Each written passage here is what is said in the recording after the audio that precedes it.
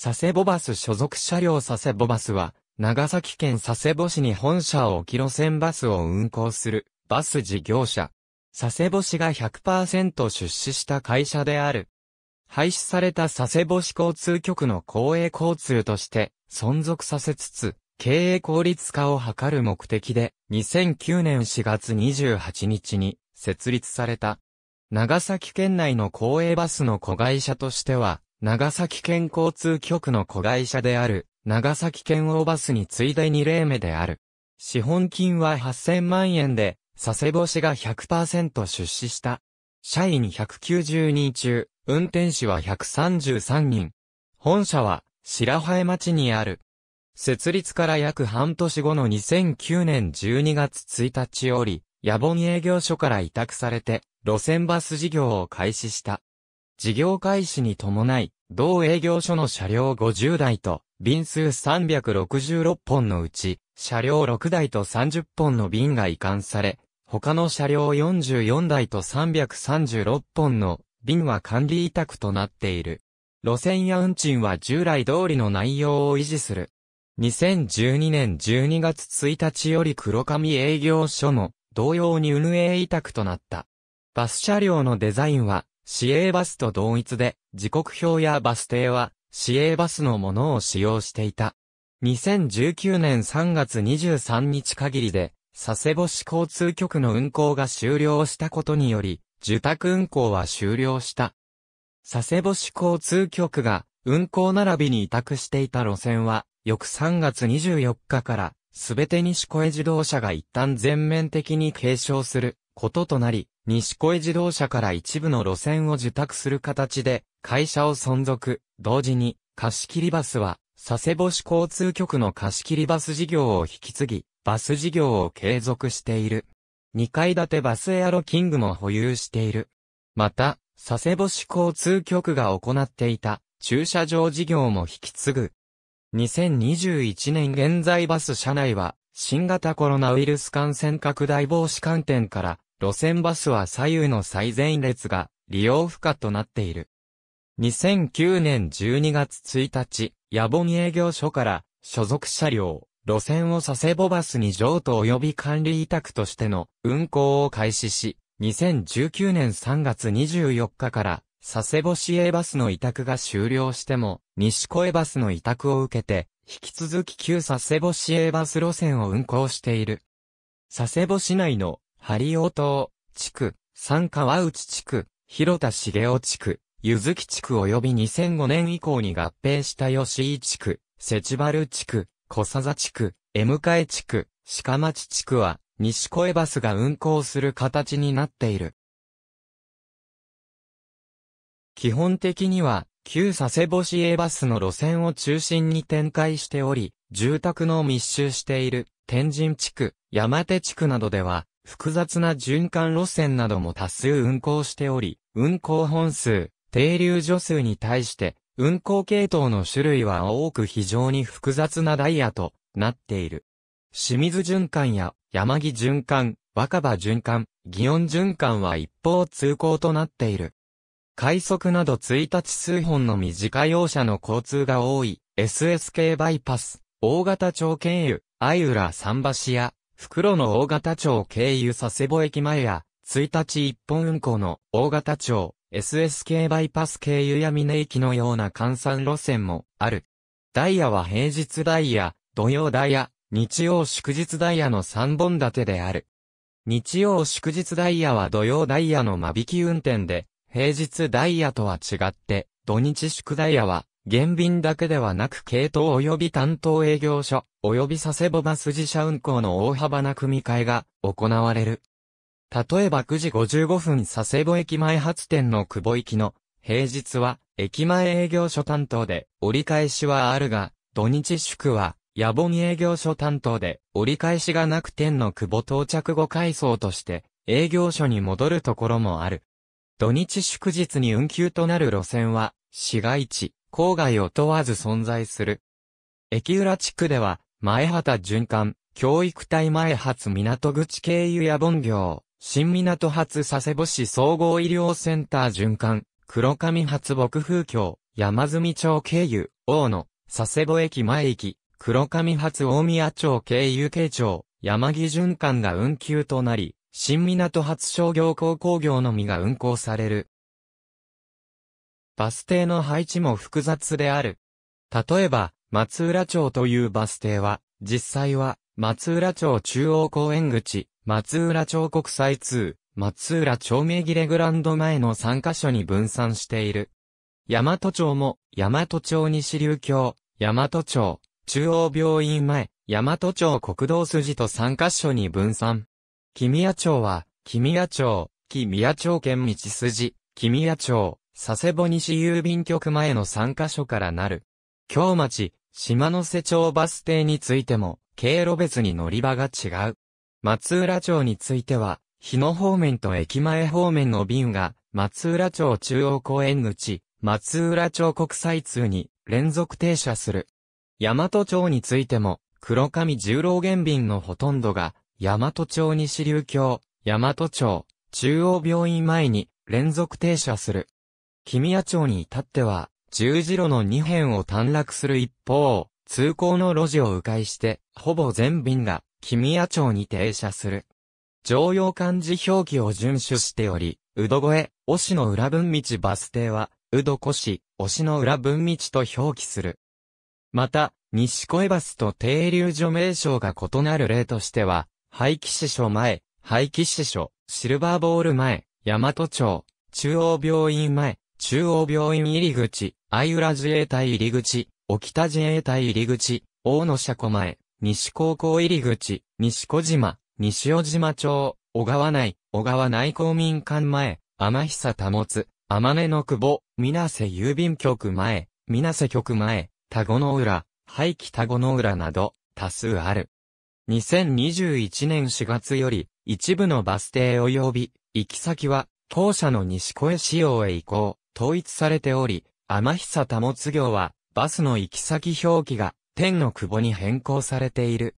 佐世保バス移管後も、旧佐世保市営バスでの車内放送や、整理券番号が継承されている。整理券番号は11番から始まる、独自方式で、車内の運賃表示器にも1から10番が表示されない。なお、2020年代に新設、または廃止となった、系統、路線や当該車担当の路線班以外に関しては、西越えバスを参照のこと。佐世保市営バスの項目を参照。佐世保バス委託車の大多数が、市街地末端の日野峠経由で運行され、旧相浦町の中心地だった、木宮町、相浦間を経由する。朝夕に SSK バイパス経由が運行され、大型町経由桟橋行きは、平日3便、土日祝2便が運行され、相浦桟橋発が、平日3便、土日祝2便が折り返し大型町経由となる。佐世保駅前発着は大多数で、朝夕の一部は、市街地を横断して、黒上地区の黒上、木場入り口と直結する。早朝には、東浜、十郎原発、相浦桟橋業や、朝には相浦桟橋発卸団地会館全校も見られ、平日の相浦桟橋発2本目は、松浦町から北上して、闇根に向かう。毎年2月下旬に実施される、相浦地区の行事、あたご山市は、木宮町、相浦間の県道が、全面通行止めとなるため、佐世保バス委託車、西越とも区間運休や大型町経由に変更される。その他、佐世保バス委託車は、佐世保実業高工業、木宮町業、小野町業が運行され、日野峠経由では、西越と完全に競合し、佐世保バス委託車が若干多めの本数を確保しているが、西越は、サザバスセンター業や大崎町業が加わり、かのこ前、入り口園では、西越バスより佐世保バス委託車が倍以上の便数で圧倒している。九十九島遊覧船が発着する、九十九島パールシーリゾートへの連絡バス。佐世保バス委託車唯一の快速が SSK バイパス経由で毎日4往復設定され、京町、島瀬町、松浦町国際通、佐世保市総合医療センター入り口の4カ所のみ停車する。平日の快速便は、松浦町中央公園口にも停車し、SSK 西門口より確定になる。確定便は、近道の SSK バイパス経由が多いが、朝のパールシーリゾート、九十九島水族館出発便と夕方のパールシーリゾート、九十九島水族館には、沿線人口が多い日の峠経由が多くなる。佐世保駅前発着と、伊園発着は、半々ぐらいで、黒上地区をメインとしながらも、沖新町や東浜町に直通する便もある。平日朝は、パールシーリゾート、九十九島水族館を出発して、日の峠を経由する、前畑循環があったり、相浦地区を経由して、佐世保商業高校に向かう通学便もある。変わった区間として、平日朝のパールシーリゾート、九十九島水族館発沖新町行きと、夕方の佐世保駅前発、パールシーリゾート、九十九島水族館行きがあり、田原が、裏半島を南下して、動植物園前、押の裏分道を経由して、西尾島町から、日野峠経由の路線に合流する。パールシーリゾート、九十九島水族館、動植物園前間を運転するのは、この2本のみで、土日祝日は運休となるため、双方の観光輸送にも途中通過する、船越展望台からの有形観光にも寄与しない。山手循環を抜けて、烏帽子岳山頂目前の展望所まで向かう山岳路線。毎日3便運行される。午前と昼、夕方に各1往復、すべて、佐世保駅前発着。烏帽子岳8合目には、レクリエーション施設のエボシスポーツの里と研修施設の青少年の天地が所在するが、多くはマイカーや貸し切りバスを利用し、路線バスの利用は少ない。平日便は送り込み改装後の山下りが朝の始発となる。佐世保バス委託車の中で一番運行本数が少ない。両端部が往復運転となり、地図に当てはめると8の字にルートをたどる変則循環線。平日朝のみ3週半設定される。五島、再開方面からのフェリー、都線到着を受けるターミナルが、新港とクジラ瀬に分かれているため、出発すると、同区間を1往復する。沿線の主要施設である、佐世保市総合医療センターと佐世保共済病院を通過するために循環運転となる。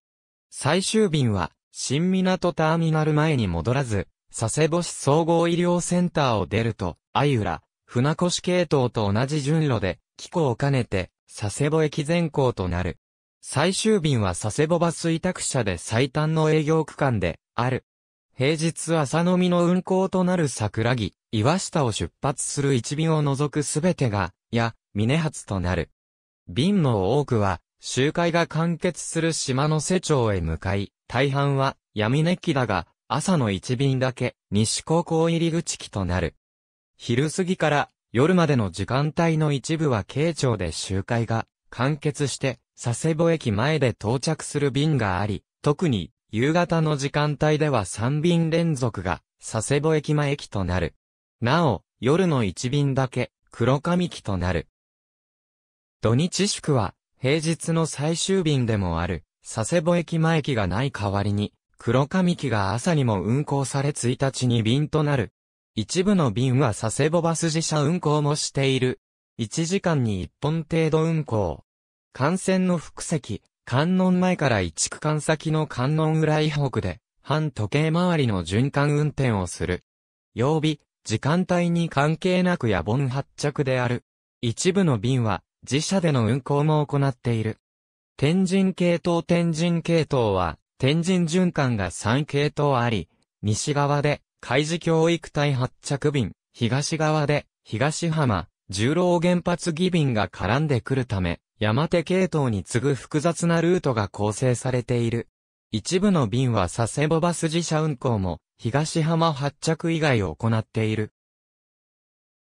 佐世保市営バス運行終了後、新設となった系統、路線佐世保市営バス運行終了後、廃止となった系統、路線6番乗り場、相浦桟橋、小野町、君谷町、水産市場前、パールシーリゾート、九十九島水族館、佐世保実業高校、長崎短大、旧文高校、日野峠、SSK サイモン、押の裏分かれ道3番乗り場、黒髪、もみじが、丘、木場入口、桜馬場経由大岳台循環、三方、経由大岳台循環、大宮町経由廃棄。下野原、若葉循環8番乗り場、大宮町経由天神循環、大黒町経由天神循環、東山経由天神循環、十郎原、東浜、海事教育隊前。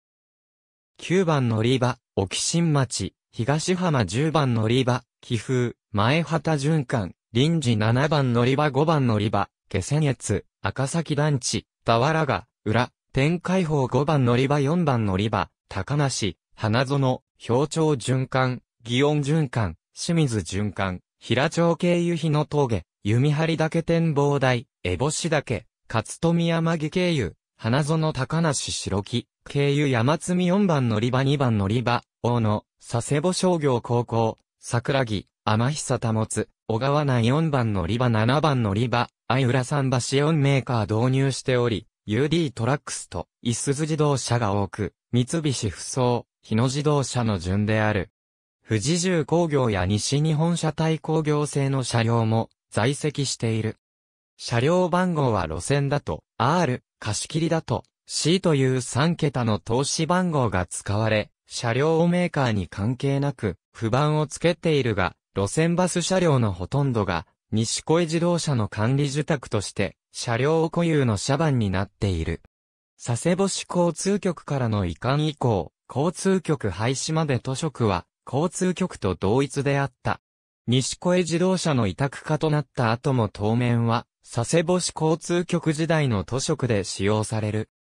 2020年9月に導入された車両では、新デザインとなり、西小バスの一般路線車と同じ銀塗装のデザインながら、帯を青からクリーム色に S をあしらったデザインが赤から水色に置き換わっており、交通局時代の都職が引き継がれている。2021年7月現在佐世保バスに所属する路線バス車両は6台保有している。佐世保バスが新規購入する場合は引き続き、佐世保市交通局の塗装を使用する。ありがとうございます。